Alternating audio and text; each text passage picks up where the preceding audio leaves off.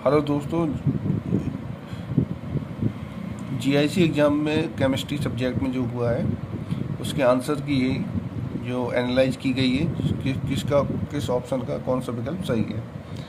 तो स्टार्टिंग से देखेंगे 41 का जो आंसर है वो आपका सेकंड वाला एकदम सही है। इसके बाद 42 का जो आंसर सही है उसका है सी ऑप्शन राइट आंसर है। इसके बाद 43 में आते हैं। 43 का ए ऑप्शन एकदम राइट है। 43 के बाद जो 44 का ऑप्शन है, उसका ए ऑप्शन सही है। कुछ लोग बी भी कह रहे हैं बट ए ऑप्शन ज़्यादा बेटर है। फोर्टी फाइव का जो ऑप्शन है, उसका बी ऑप्शन सी ऑप्शन सही आएगा। नेक्स्ट नेक्स्ट में इसका सॉल्यूशन है, कुछ लोगों का कहना है, इन दो में डाउट है। इन दो पे ही आंसर सही होगा। ऊपर वाला नहीं होगा और ना लास्ट वाला होगा। इसके बाद आते हैं नेक्स्ट वाला। नेक्स्ट वाले का 47 का। 47 का ए ऑप्शन एकदम राइट है। इसका ए का चौथा होगा और बी का जो होगा वो तीसरा होगा। और जो सी का होगा वो पहला है और इसका दूसरा। नेक्स्ट क्वेश्चन है 48 का। 48 का ऑप्शन बी सही होगा। कई लोग डाउट में आ गए, इसलिए इस यहाँ पर रेजोनेंस है रेजोनेंस यहाँ माइग्रेट करेगा, इसलिए यहाँ पर इलेक्ट्रोफिलिक एडिशन रिएक्शन सबसे ज़्यादा होगी। 49 का ऑप्शन ए एकदम राइट आंसर है। इसके बाद नेक्स्ट में चलते हैं। पचास, पचासवें क्वेश्चन का जो ऑप्शन है, उसमें देखो टी टू जी एवं ईजी स्तर समान ऊर्जा के होते हैं ये एकदम ऑप्शन उसमें सुमेलित नहीं है तो इसका पहला ही ऑप्शन सही हो जाएगा। सुमेलित नहीं है। नहीं ये पूछा है इसलिए ये ऑप्शन राइट होगा। ये थोड़ा सा टफ बच, कई बच्चों ने इसको गलत किया है आंसर इसका सही ऑप्शन आएगा सी कई लोगों ने बी ऑप्शन लगाया बी गलत नहीं होगा क्योंकि यहाँ पर लॉन पेयर की वजह से साइक्लाइजेशन होगा और ये लिविंग ग्रुप बाहर हो जाएगा। इसलिए इसका सी ऑप्शन एकदम राइट आंसर है। इसके बाद 52 52 का ए ऑप्शन सही होगा. ए का सब लोग जानते हैं फीटर क्राफ्ट जो होगी, उसका होगा तीसरा. इससे ये आंसर लग जाता. डी का तीसरा आंसर इसी में सही था, इसलिए ए ऑप्शन इसका एकदम राइट है. इसके बाद 53 का जो ऑप्शन है, वो सी सही है. इसकी रेडियस लगभग समान होती है. इसके बाद 54 का 54 का जो ऑप्शन है वो आपका देखो डी ब्रॉगली इक्वेशन जो है और इसका हाइजन वर्ग तो बी का आपका पहला था। तो बी का पहला इसमें, ठीक है डी ऑप्शन इसका राइट आंसर होगा। इसके बाद आते हैं 55 में। 55 में उसने पूछा था डाइनोफाइल सब डाइनोफाइल का जो है विड्रॉइंग ग्रुप पर डिपेंड करता है इसलिए इसका सी ऑप्शन एकदम राइट आंसर होगा। इसके बाद पूछा है इसने निम्न पर विचार कीजिए तो विचार करने पे, कथन पे, लिथियम, मैग्नीशियम का गुण समान होते हैं डायगोनल की वजह से, और कारण इसके विद्युणात्मक का मान समान होता है और विकट संबंध प्रदर्शित करते हैं। इसलिए इसका ए और आर दोनों राइट होंगे और आर ए का स्पष्ट एकदम, ये ऑप्शन एकदम राइट आंसर है इसका। जे डी का जो होता है एफ़ सेवन होता है लास्ट इसलिए इसमें अनपेयर इलेक्ट्रॉन संख्या सात होगी। इसका फिफ्टी एट का जो ऑप्शन होगा वो डी ऑप्शन एकदम राइट होगा, क्योंकि वॉल्यूम बढ़ने पर उसकी रेडियस उसकी एंट्रोपी अपने आप ही बढ़ जाती है। 59 का जो राइट आंसर होगा, वो डी होगा, क्योंकि ये मेटल लिगेंड लिगेंड मेटल को ट्रांसफ़र कर, ये तो ऑप्शन एकदम गलत होगा।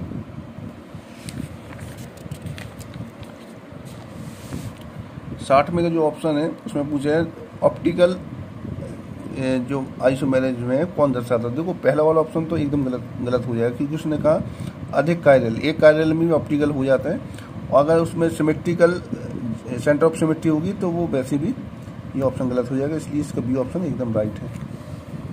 इसके बाद सिक्सटी वन का, सबको पता है उसके कोलाइड स्वर्ण संख्या उसके इन्वर्स होती है, इसलिए इसकी सबसे कम है स्वर्ण संख्या, इसलिए इसके रक्षण कोलाइडी सबसे ज़्यादा होगी, इसलिए इसका ऑप्शन डी सही होगा सिक्सटी वन का।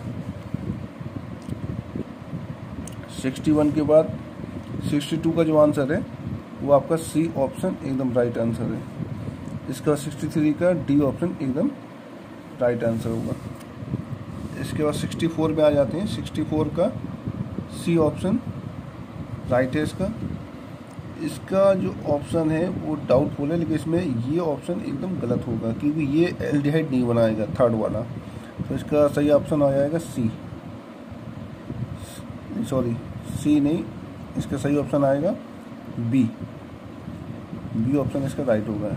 इसका लास्ट का, इसका डी ऑप्शन सही होगा सिक्सटी सिक्सटी सिक्स का। सिक्सटी सिक्स के बाद जो नेक्स्ट क्वेश्चन है, निम्नलिखित जिंक अमलगम।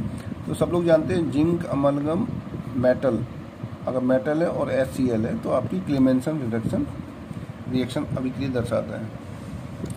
ये बहुत सिंपल क्वेश्चन था आई करना था, इसका ए ऑप्शन सही होगा। बस इसमें एक चीज़ ध्यान देनी है, इसमें एन की जगह ओ होना चाहिए था बट इसने नहीं किया। इसका सही ऑप्शन होगा बी इसका सही ऑप्शन होगा बी रंगीन आयन के लिए वो पूछा गया है, बाकी सब मैन पेड इलेक्ट्रॉन ही है, इस मैन पेड इलेक्ट्रॉन पाए जाएँगे। सेवेंटी वन का सेवेंटी वन का सही ऑप्शन लगेगा बी कई लोगों ने इसमें डी लगाया है, लेकिन इसका बी ऑप्शन एकदम राइट है। सेवेंटी टू का सही ऑप्शन है।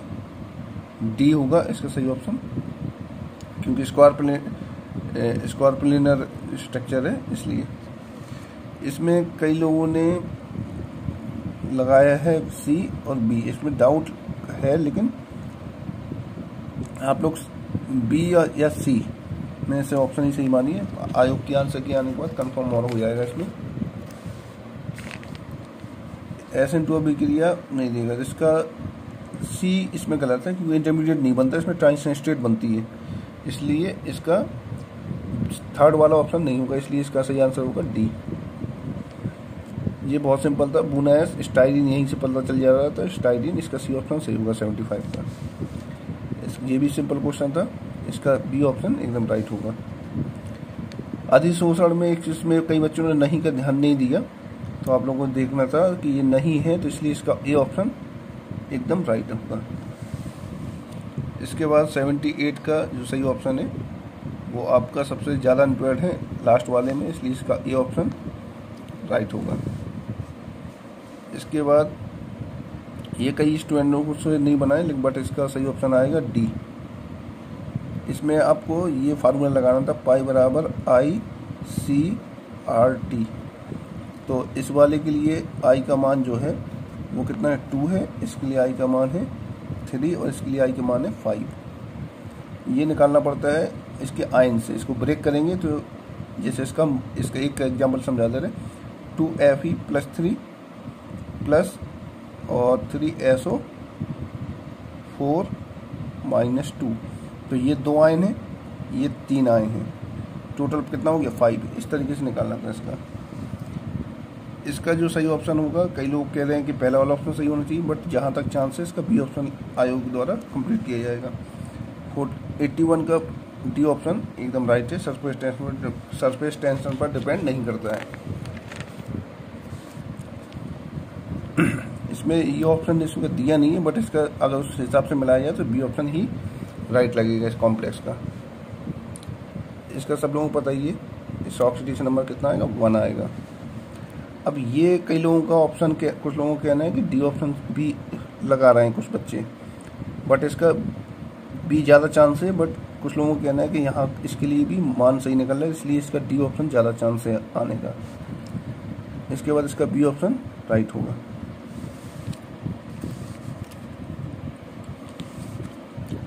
एट्टी सिक्स का अभी तो ए मान के चलिए बट ये डाउटफुल क्वेश्चन है तो अभी छोड़ के चलिए इसको, आयोग की आंसर की पे बात ही डिपेंड करेंगे। 87 का ए ऑप्शन एकदम राइट है। 88 का सी ऑप्शन एकदम राइट है। इसके बाद 89 का डी ऑप्शन एकदम राइट आंसर है।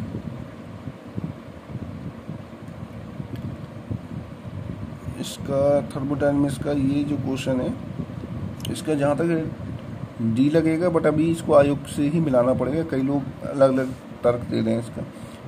इसका बी ऑप्शन एकदम राइट है। और इसका डी ऑप्शन एकदम राइट आंसर है। इसको भी आप लोग अभी कंफ्यूजन में तो इसको भी रोक के चलेंगे हम लोग। इसके बाद 94 का जो ऑप्शन है 94 का बी ऑप्शन एकदम राइट है, क्योंकि ये बहुत सिंपल क्वेश्चन था आर इक्वेशन ए से मैच कर दिया था। तो इसलिए नेक्स्ट इक्वेशन ये है तो इससे सीधे सीधे आंसर इसका क्लियर हो रहा था इसके बाद 95 का जो क्वेश्चन पूछा गया, निम्नलिखित में दोनों कौन प्रेजेंट करेंगे? तो दोनों आपके प्रेजेंट करेंगे बी इसके बाद 96 का आयनों की संख्या पूछी इसका सी ऑप्शन एकदम राइट होगा। इसके बाद 97 का जो आईपीसी था, ये बहुत सिंपल क्वेश्चन था। डी होगा बट पेंटेन नल ये ऑप्शन दिया है, इससे क्लियर हो रहा है। इसके बाद 98 का ए ऑप्शन एकदम राइट होगा। 99 का ये जो एजुली है, ये गलत है। ये एरोमेटिक नहीं शो करेगा तो इसलिए चौथा को छोड़ दें तो ये इसका सी ऑप्शन सही हो जाएगा। इसके बाद जस्ट इन्वर्स होता है, जितना इसकी वैल्यू जितनी ज़्यादा होगी पीएच उतना ही कम होगा। तो सबसे सबसे कम पी की वैल्यू एक ही है, इसलिए इसका डी ऑप्शन एकदम राइट लगेगा। 101 का ए ऑप्शन एकदम राइट क्योंकि विड्रॉइंग ग्रुप यहाँ लगा है, इसलिए इसकी कार्बोनाइन की कार्बोनाइन की स्टेबिलिटी सबसे ज़्यादा हो जाएगी। इसलिए आपका 101 का ये ऑप्शन सही लगेगा। नेक्स्ट में आ जाते हैं। नेक्स्ट में दिए मिलान करना था तो इसमें ए ऑप्शन एकदम राइट होगा। ये सबका सिंपल क्वेश्चन है, इसका सी ऑप्शन एकदम राइट होगा। इसके बाद इसमें कई लोग कह रहे हैं कि भाई ये चारों होगा बट ये चारों नहीं होगा। इसका सी ऑप्शन के ज़्यादा चांस है, इसलिए आप सी सी को मान के ही चलिए अभी। बट आयोग के आने के बाद तो कन्फर्म हो जाएगा इसके बाद निम्नलिखित में से कॉम किसमें डी इलेक्ट्रॉन नहीं है? जो डी इलेक्ट्रॉन आपका ए इसका ए आंसर कन्फर्म सही है। इसके बाद कौन प्रामिडल संरचना शो करेगा? इसका डी ऑप्शन एकदम राइट है। इसमें लिंकेज आइसोमेरेज होंगी, क्योंकि NO2 जो ग्रुप होता है, अगर ओ NO ग्रुप रूप में आता है तो समझ लेना ये कौन सा आइसोमेरेज शो करेगा? लिंकेज आइसोमेरेज शो करेगा। इसके बाद ये जो रिएक्शन थी ये बेंजाइन रिएक्शन थी। ये दोनों रिएक्शन करके ये बेंजाइन बनाएँगे। ये बेंजाइन ये बेंजाइन बनता। ये, और एक बेंजाइन और बनता। इस तरीके से। ये ये फिर जुड़ जाती तो इसका डी ऑप्शन एकदम राइट हो जाएगा। इसके बाद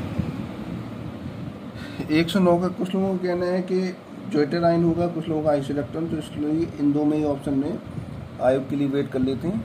कौन सा आंसर सही लगेगा? 110 का डी ऑप्शन एकदम राइट है। इसका बी एकदम राइट है।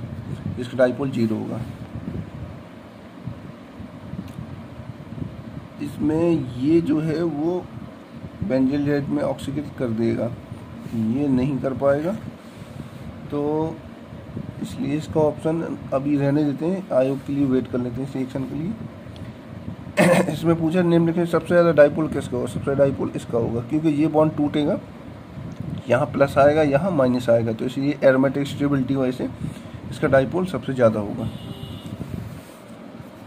इसके बाद नेक्स्ट आते हैं एक सौ चौदह पे। एक सौ चौदह का ए बी ऑप्शन एकदम राइट होगा। Sorry sorry sorry B option नहीं, इसका ए ऑप्शन एकदम राइट होगा। इसका ए ऑप्शन राइट होगा बी नहीं। इसके बाद डिटर्जेंट पूछा डिटर्जेंट होते हैं जो एल्किल सल्फोनेट के सोडियम लबड़ होते हैं। इसलिए इसका सी ऑप्शन राइट लगेगा। इसके बाद निम्नलिखित का मिलान करना था। तो कौन सा गलत है? अब कई लोग कह रहे हैं एब नॉर्मल क्वालिगेटिव प्रॉपर्टी नहीं होती है वन हब में। तो ये डाउट हुआ बट इसका ए ऑप्शन ज़्यादा चांस है लगने के। कुछ लोग कह रहे हैं कि बी ऑप्शन होगा। तो इसके लिए वेट कर लो। तीन क्वेश्चन हो गए हैं जो वेट करना है आपको। इसका आपका बी ऑप्शन एकदम राइट होगा। इसके बाद नेक्स्ट क्वेश्चन एक सौ अठारहवें का, एक सौ अठारहवें का जो ऑप्शन होगा तो सबको पता है कि इसका बी ऑप्शन एकदम राइट होगा मोस्टली स्टूडेंट को पता होगा। इसका ये ऑप्शन जहाँ तक सही लगेगा, और इसका लगेगा लास्ट डी ऑप्शन तो आप लोग मिला लीजिएगा आंसर की, जिसके जौन से क्वेश्चन सही हो, उस हिसाब से नेक्स्ट मेंस के एग्ज़ाम की तैयारी के लिए, जिसके 70 प्लस को आंसर सही है। 70 के आसपास जनरल, अगर 70 सही है उसके तो मेंस की तैयारी स्टार्ट कर दें, क्योंकि 70 से ज़्यादा कट ऑफ़ नहीं आने वाली है। तो सभी स्टूडेंट अगर जिनका 70 के आसपास सही क्वेश्चन जा रहे हैं टोटल मिला के तो वो लोग मेंस की तैयारी स्टार्ट कर दें, और 70 से 75 के बीच में ही कट कट ऑफ़ रहने वाली है। कई लोगों को कहना है कि 100 सही है 105 सही है। वो सब कुछ नहीं होगा लास्ट में रिज़ल्ट जो आएगा, वो seventy seventy one seventy two इसी के आसपास ही कट ऑफ़ में फंस जाएँगे।